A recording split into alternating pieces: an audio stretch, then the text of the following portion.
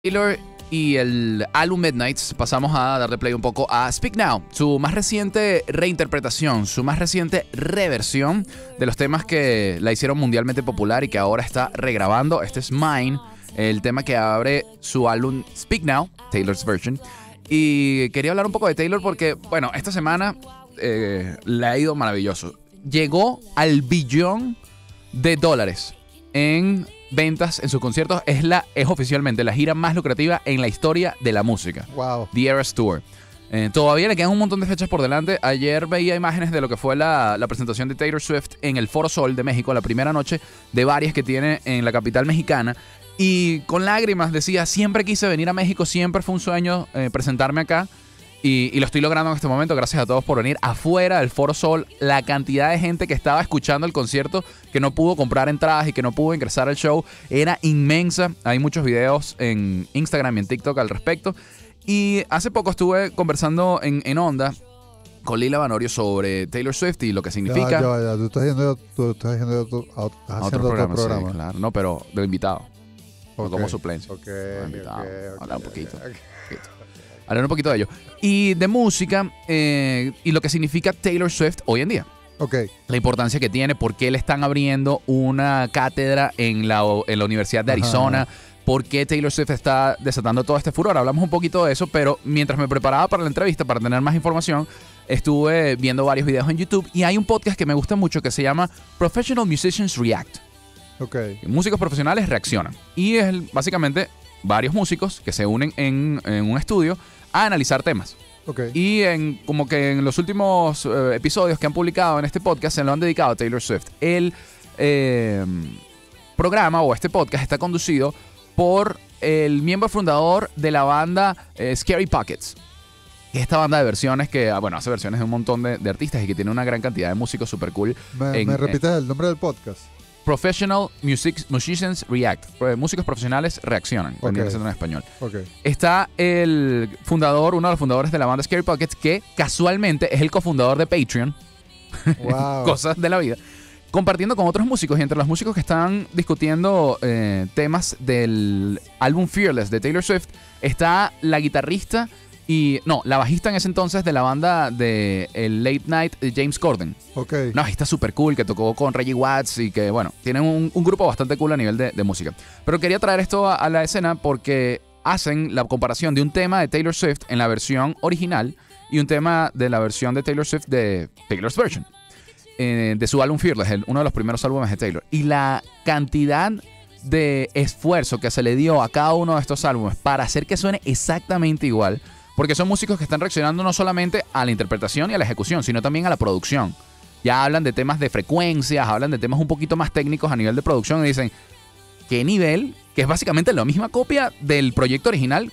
Buscaron la misma caja a nivel de batería, buscaron las mismas frecuencias a nivel de bajo, la misma ecualización. Suena exactamente igual, pero con una Taylor más madura. ¿Y qué temas que en su momento sonaban como a una chica de 15 años hablando de amor y desamor que quizás no tenía el poder o no tenía quizás la vida de, para pasar por esas situaciones, hoy en día una mujer de 33 las interpreta y dice, wow, ahora sí me pega. De hecho, uno de los, de los músicos dice, ya va, no sé qué me está pasando, pero me dan ganas de llorar. Y esos la temas, estoy entendiendo. y esos temas son escritos por ella. Son escritos por ella, algunos de ellos, pero, otros también. Pero es bien loco porque los escribió a los 15. A los 15 años. Y ahora que tiene 33 los canta mejor que cuando tenía 15 que los escribió. Sí, justo en el tema que hacen el, eh, la comparación es con uno de los temas más famosos de Taylor Swift, que es este que está sonando de fondo, Love Story.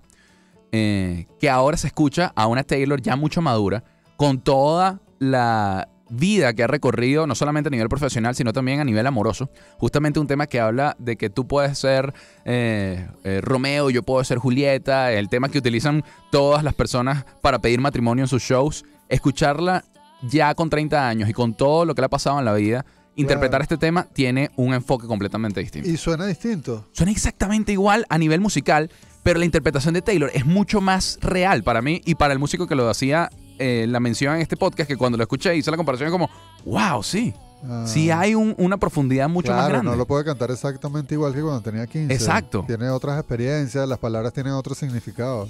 Y la vida, pues, Claro.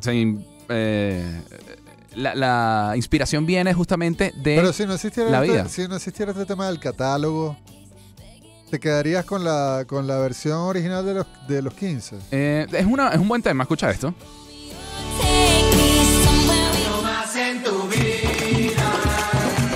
Mira, estamos de cumpleaños, pero esa canción no, no, no, no, no, ¿qué va? Esto es la mega.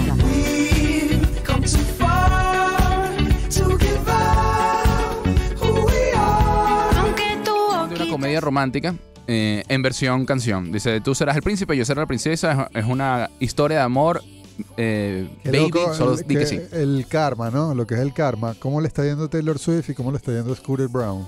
Ah, Que es el que hizo que prácticamente ella se viera obligada a regrabar sus a canciones. regrabar todas las canciones. Y es lo bonito también, porque yo eh, lo, lo terminé como de digerir cuando me preparaba para la, la entrevista. Es como a esta era, en 20 años más adelante, a nivel musical va a ser conocida como la era antes y después de Taylor Swift. Porque esto que hizo, de volver a regrabar sus canciones y darle eh, pues en la cara a, Te- a Scooter Brown a decirle, mira, eh, digo metafóricamente en la cara, Claro. a, a Scooter Brown decirle, mira, no me importa esta decisión que hayas tomado, las canciones son mías y yo tengo tanto, tanta fe en mis fanáticos y en la gente que confía en mi música que puedo volver a lanzarla y va a tener incluso mayor éxito de la que tuvo en su momento.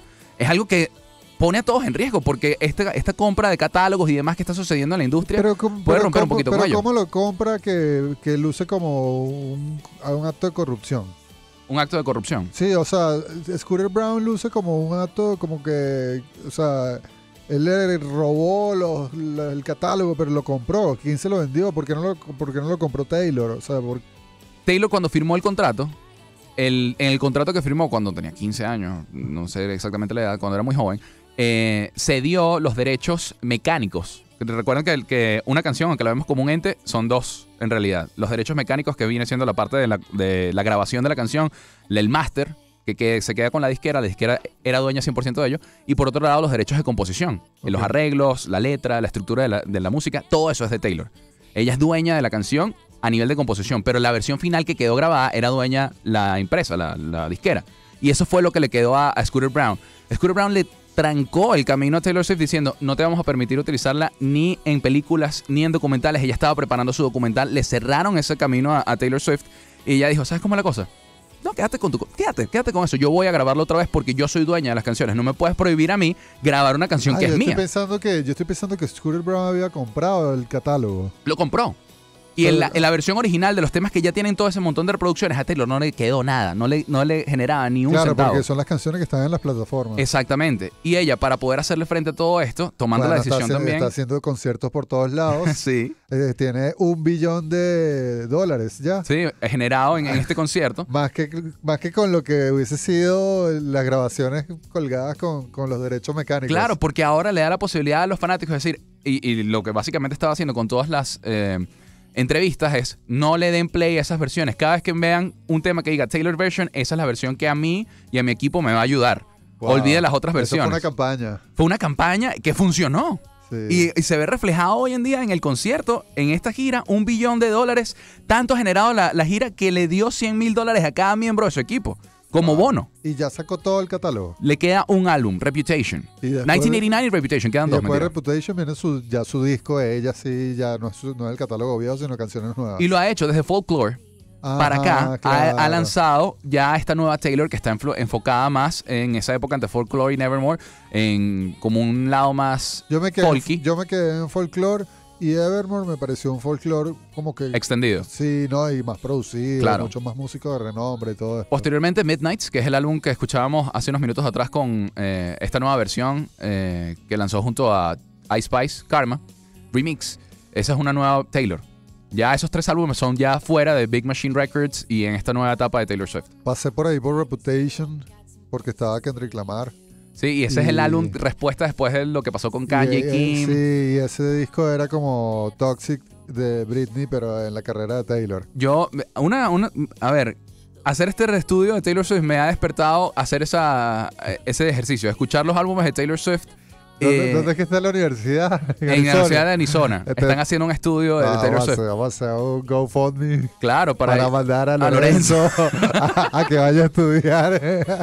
Me estoy volviendo Swifty, muchachos. Me estoy volviendo Swifty. Poco a poco, poco a poco. No, pero bueno, tiene una carrera interesante. Súper Desde el interesante. punto de vista del negocio de la música. Es una mujer que no interesante. solamente es excelente músico y artista, sino que es muy buena empresaria. Sí, y la tiene sí. clarísima. Sí, sí, sí. Fan de Taylor Swift y su trabajo. 10.25 de la mañana. eh, a la vuelta tenemos muchísima música. Y los que vamos a escuchar a continuación hoy están de estreno. Sí, ya escuchamos en la primera hora eh, La Tormenta, conservando. Y ahora vamos a escuchar una de mis favoritas. A mí también. Esta y Bikini eh, son mis favoritas, las que han lanzado. Y van a estar el 30 de septiembre. Acá en Caracas. Así que pilas. Esto en el Lotero por la Mega.